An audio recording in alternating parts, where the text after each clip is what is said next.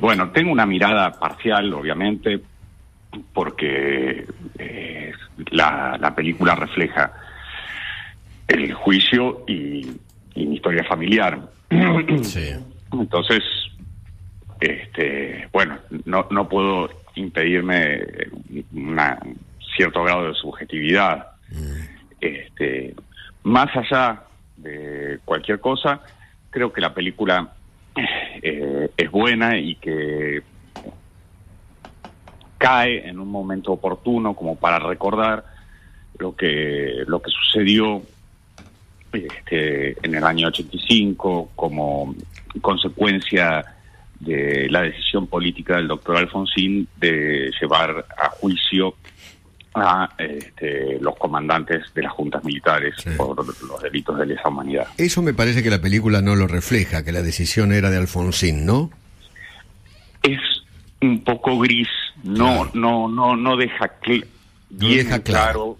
no deja claro, eh, por ejemplo, el dictado del decreto 158 del 83, que Alfonsín lo hace en absoluta soledad, porque Claro. no, no tiene compañía política, digamos, el peronismo No eh, lo se apoya, corre, claro. no lo apoya. Este, de hecho, también se niega a integrar la CONADEP, Claro. y entonces es eh, eh, básicamente él solo eh, quien decide eh, la realización del juicio a la O sea, en ese momento, en el 85, eh, el peronismo fue funcional a los genocidas. Absolutamente. Absolutamente funcional. Este, Y vio que ahora, ahora el kirchnerismo y el peronismo se apropian de la película, ¿no? Sí, sí, sí. Es increíble. Es increíble porque en aquel momento, eh, este, Luder, por ejemplo, que estaba eh, propiciaba la ley de autoamnistía, eh, no, eh, no quisieron integrar la CONADEP, este, no apoyaron el juicio de ninguna manera, este, no, no, no, no hicieron nada a favor de que se esclarecieran los hechos de, que habían sucedido durante la dictadura militar. Totalmente. Y a Trócoli lo dejan como un idiota, ¿no? Sí, sí, malamente. Malamente. Mm. Al ministro del Interior en ese momento, claro. Sí, sí. Eh, cuando, Y le dan una Sí. voz a, a Luder, por ejemplo, para Claro. que explique eh, el, los, el dictado de los decretos de aniquilación de la su- subversión, ¿no? que habían comenzado con el operativo Independencia, que, Sí. que lo firma María Estela. Martínez de Perón. Eh, Martínez Julián, de Perón. Julián, ¿a usted le da la sensación que en la película es más Mm. importante Moreno Campo que su padre? los ponen en un, en un plano de equidad, Mm. eh, que no es así. Eh, digamos, el titular de la fiscalía fue mi padre, Totalmente. el, el adjunto fue Moreno, sin, sin este, eh, hacer menos este, importante la actuación de, de Luis Moreno Campos, que fue, fue el adjunto y estuvo ahí en el juicio. Pero sí, el titular de la fiscalía fue mi padre, el que llevó Claro. adelante la acusación fue él. Claro. Eh, Julián, eh, a, a ver, ¿me cuenta los momentos que usted vivió? Por una cosa, lo que al Julián que yo veo en la película, al Julián Estracera, y otra cosa es el que con el cual yo estoy hablando ahora. ¿Me puede usted relatar en primera persona lo que vivieron?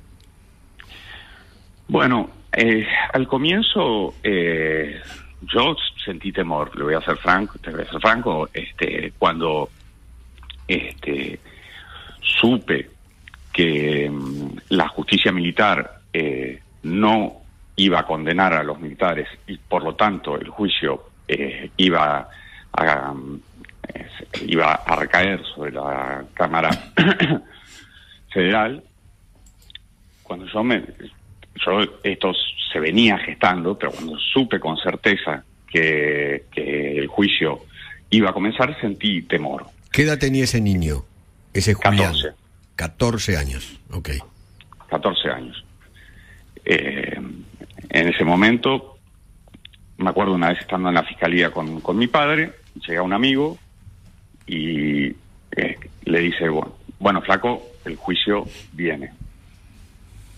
Y hay, una escena de la película en que, este, que sí es real, que yo le digo a mi padre, ¿no podés decir que no? Sí, me acuerdo. me dice, no. Sigue, sigue escribiendo la máquina. Sí.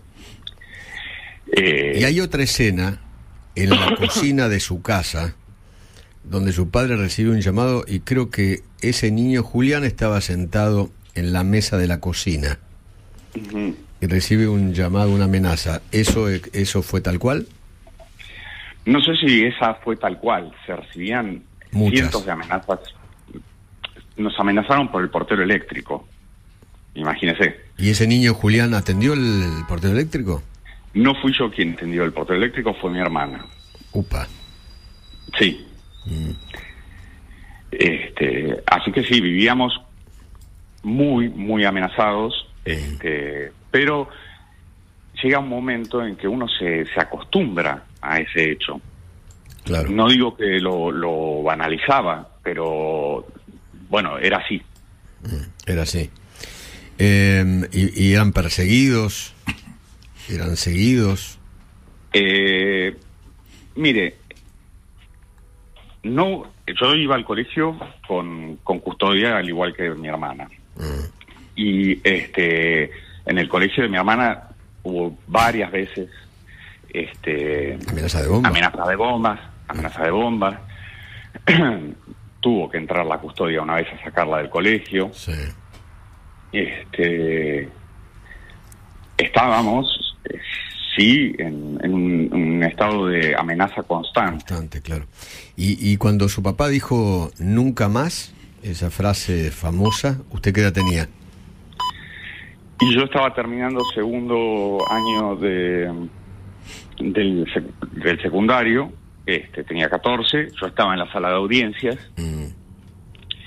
Y ¿Cómo? Fue tan, tan, tan poderoso el, el, alegato que, bueno, yo tenía al frente al fiscal y a mi padre, ¿no? Qué bárbaro.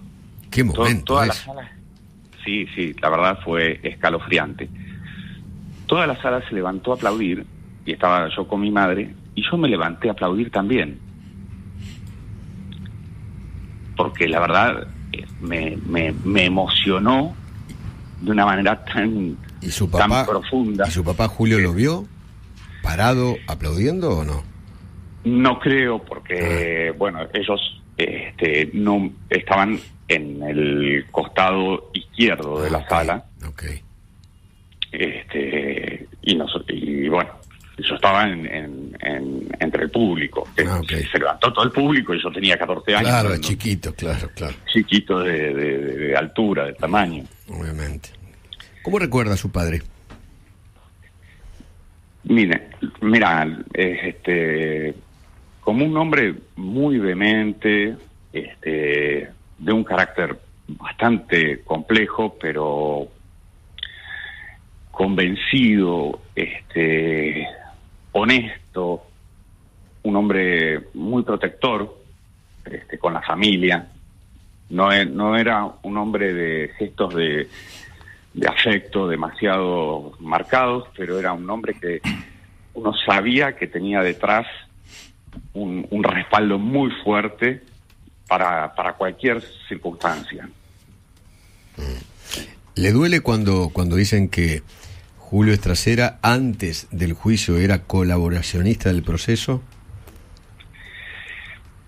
No sé si decirme que me duele, porque la verdad es que me parece tan tan absurdo este, que, le, que le resto importancia.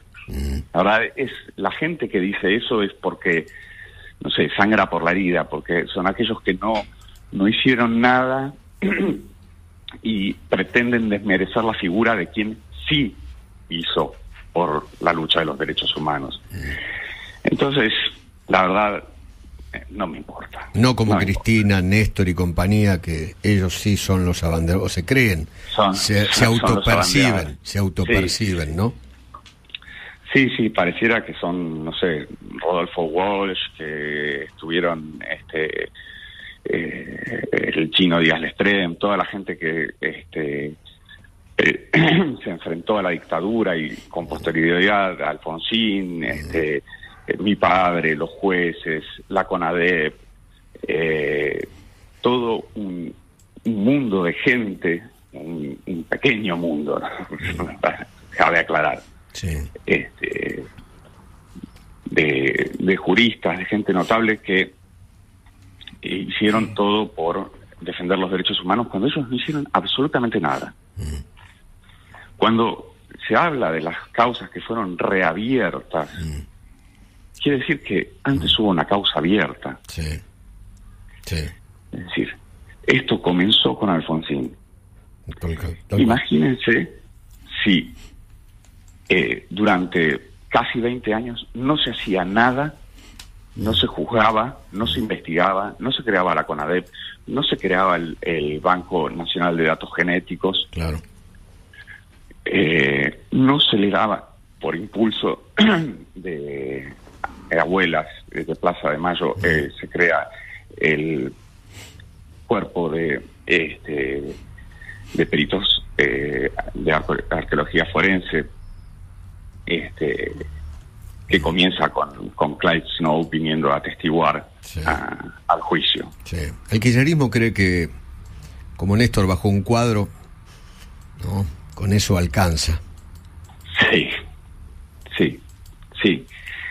Y hay que acordarse del, discurso de, de, Néstor diciendo que en 20 años de democracia nadie había hecho nada por los derechos humanos, ¿no? Tal cual. Tal cual. ¿Me, me, deja un segundo? Creo que hay alguien en línea que quiere saludarlo. Eh, bueno, Graciela Fernández Mejide, ¿qué tal? ¿Cómo le va? Buen día. Hola Eduardo, ¿cómo te va? Julián Estracera en línea. lo estoy escuchando. Buen día, Julián, ¿cómo estás? ¿Cómo estás, Graciela? Bien, gracias. Dadas las circunstancias, mira que soy una sobreviviente porque estoy vieja. este, tengo que hacerte una observación en esto que decías de la antropología forense. En realidad, Snow vino traído por eh, Emilio Miñone a la CONADEP. En realidad, los primeros que después terminaron armando el equipo estaba, por ejemplo, Mimi, eh, la hija de Magdalena Ruiz Iñazú, que lo conocieron a Snow ahí en la CONATE. Claro. Sí, sí. Después, después abuelas, este, impulsó a veces. Impulsa. impulsó, Después se impulsa, ¿no? Mm. Pero tenés razón en algo que decís. Si después de Malvinas, cuando los militares se retiran autoamnistiándose, la gente hubiera votado a Luder, todo eso no hubiera ocurrido. Claro, tal cual. De ninguna manera. Es, es así, porque Luder había aceptado la autoamnistía, que era una tradición. Cada vez que había un golpe, se amnistiaba a los golpistas, incluso avalado por la Corte Suprema. Y eso es lo que Luder aseguró incluso porque él tenía un problema muy serio dentro de su propio partido. Mm.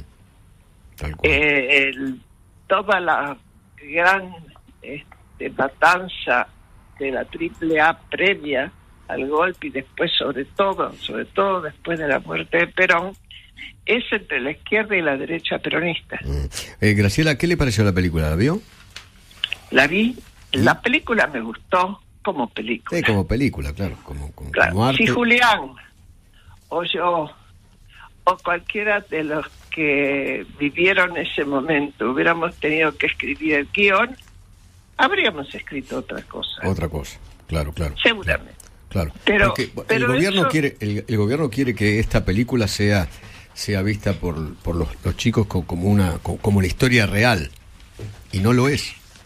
No lo es. es eh, es una parte, de la historia. Una parte de la realidad. claro. es una parte de la historia y realmente eh, este gobierno lo que hizo fue tomar el tema de derechos humanos instrumentalmente y heroizar todo lo hecho en los 70 como lucha este anti eh, como como en las organizaciones armadas, ¿no es cierto? Como lucha revolucionaria. Mm. Ahora, de esa manera se tranquiliza y tranquilizó a los organismos de derechos humanos, sobre todo madres, sobre todo madres, recomenzando, eh, revisando las, eh, las causas y siguiendo hasta el día de hoy escandalosamente, porque hoy se sigue juzgando. Totalmente, totalmente. Eh, Graciela. En realidad, sí. no, no, no, no, me iba a decir, en realidad. En realidad, las abuelas nunca eh, dejaron de poder seguir este, tramitando sus juicios porque en la ley de obediencia de vida que Alfonsín da porque tiene miedo a un baño de sangre después de Semana Santa, eh, quedan exentos los juicios por eh, apropiación de niños. Por lo tanto, las abuelas pudieron seguir tramitando sus juicios. Tal cual. Nunca se interrumpieron. Graciela, le agradezco infinitamente y gracias por este momento. ¿Mm? No, está bien, es un gusto para mí. Te abrazo, Julián. Sé que pronto. Un beso grande, Graciela. Chao, que les vaya muy bien. Chao. Julián, gracias por este momento. ¿eh? No, por favor. ¿Mm? Gracias. Julián Estracera. Alguien tiene que contar.